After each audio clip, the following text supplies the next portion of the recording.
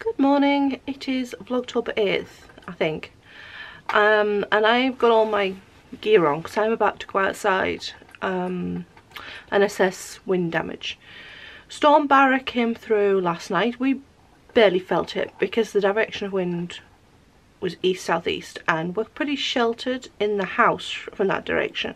If it's westerly, it's usually very, very noisy in the house. So Storm, uh, Storm Arwen that came through last week was really noisy and very scary. And my husband had to go out at one point in it to put rocks on the front edge of the workshop roof because the plywood that it's made, or the, the what are they called? The facing boards it'll come back to me, had rotted and come off in the wind and the edges of the plywood, it, the layers were kind of starting to separate. So you'd had to put heavy rocks all along. Well, I've looked out this morning and we didn't get, we, got, we came up pretty well com compared to the rest of Scotland and the north of England and I believe Cornwall area as well. Um, considering we usually get really hammered by the wind. And we did have 70 something mile an hour winds up here during Storm Arwen. But we came off not so bad really considering how bad they had it south. And um, same with yesterday. I think we only had sort of 50 mile an hour gusts maybe here. Um, but I've looked out the front window this morning and I think the felt is coming off of the workshop roof. So my husband's not going to be too happy with that. So I'm about to head out.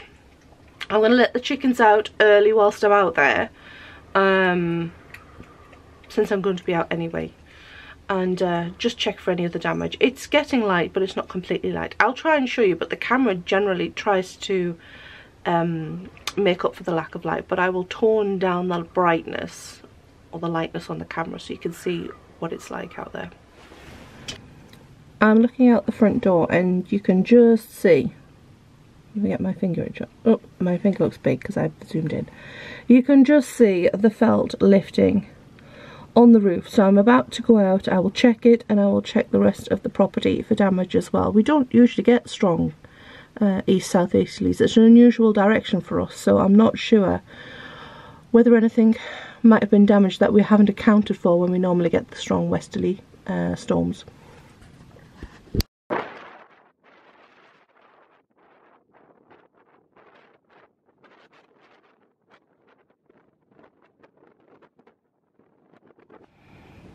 So the UK is in a, oh, what do you call it? The in we have a biohazard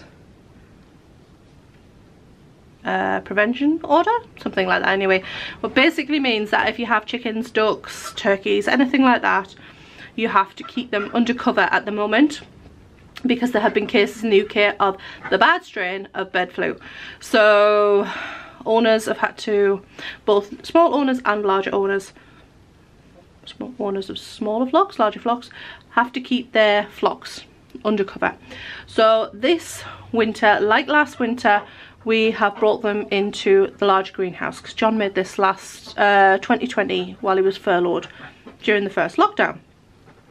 So normally this is full of vegetables, but in the winter it's not.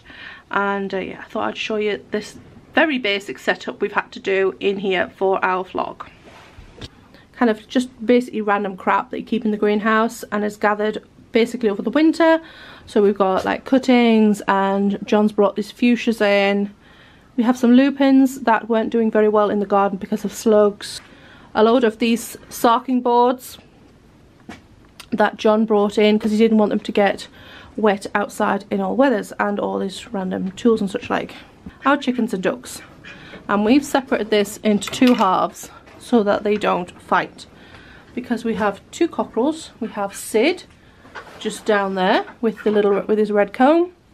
And in this half we have Cornelius that gentleman over there. And we also have our ducks in this side and that duck in front of Cornelius is Lucky Duck who thinks he's a chicken because he was hatched out with chickens. And we have some of our hens in here we have who we got over here? That grey lady over there. She's lavender, she's a lavender Araucana. And we're just kind of doing a deep bed method, which I'm not the biggest fan of, but will work for over the, the next couple of months, where you put straw or hay in and as that becomes dirty with chicken muck and stuff you add another layer down and they can work it into the soil. And then in the spring we can add more compost and dig it all in and it'll fertilize it. So all their muck goes into the soil they will also eat all of the slugs and bugs and grubs that's in here for so that they don't eat our plants which they did a little badly this year so yes yeah, so we have them separated out because Cornelius is blind in one eye and he will get picked on by Sid. It's okay when they're outside because they have a big outdoor run, but unfortunately not in here. So John has just temporarily rigged up some chicken wire to separate them out. And uh, yeah, it's very basic, but it will do the job until they're allowed back outside again. I also forgot to mention whilst I was outside that in the duck side it also has a small ornamental pond. So the type you would have in a garden it's small, it's basic. Um, we've kind of just recessed it into the soil so that the ducks have somewhere to kind of splash about and get the water all over their bodies. It has to be refilled pretty much every day because they splash it everywhere. Um, but like it says, it, we've kind of limited on what we can do here. Um, and our outdoor run is huge. There's no way you could enclose the entire area. Um, so we are working with what we've got. So yes, they have a small pond and in the duck side they have like a bucket of water they can kind of dunk their heads in because they like to dunk their heads to keep themselves clean. And in the chicken side they've got the water hopper because we only have one of them. I need to get a second one of those.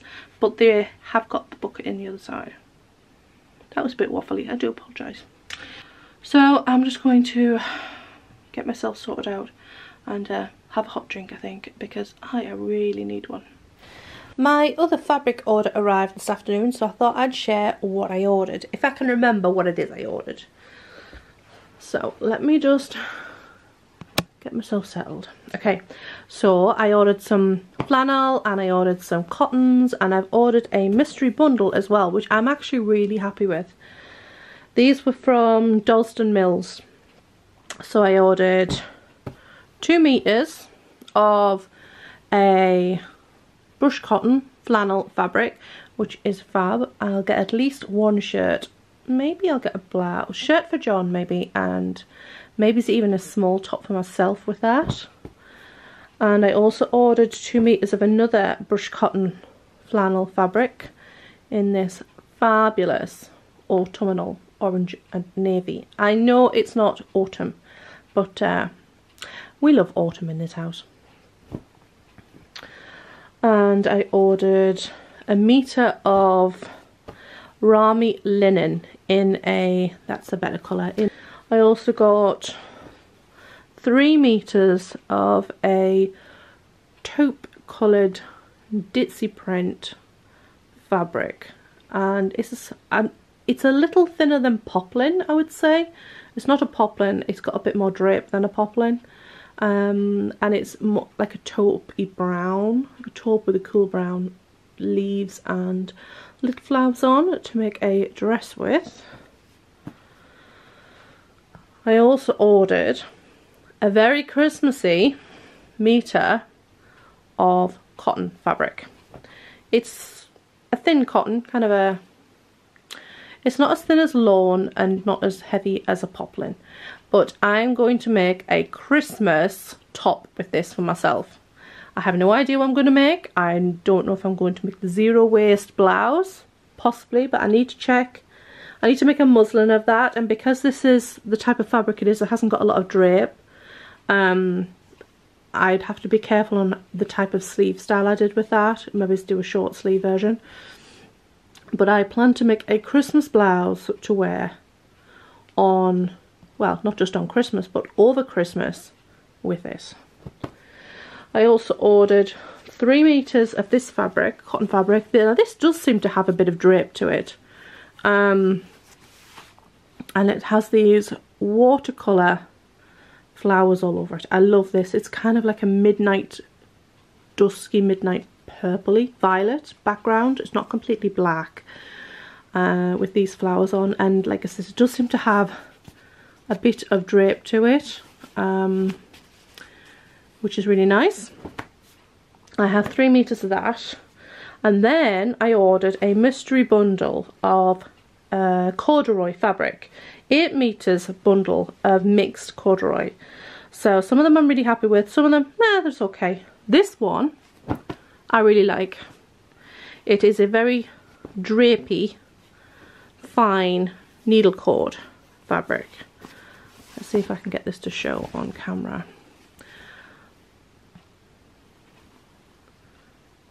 Yeah, it is a very, very fine drapey needle cord. And the colour, it looks quite cool. And it is a cool toned fabric, but it is more of a chocolatey brown. Kind of like what it's showing up over here. Maybe a little bit darker. Focus. Yeah, like a chocolatey brown. And I'm not sure how much of this there is. I think there's around two meters. We kind of roughly laid it out earlier on to have a look and I will have to fold this off camera because I cannot do this behind the camera. There is also a couple of meters of this heavier weight needle cord and this one regular cord rather needle cord this one is a olivey green heavier weight fabric which would be fab for I don't know skirt maybe it's definitely heavier than the other one the other one is more of a shirting fabric um, but I will certainly find a use for all of these the third one is a burgundy. I'm really pleased with the bundle they chose. Uh, they could have just picked a random bundle that had, I don't know, pastel pink and blue in it.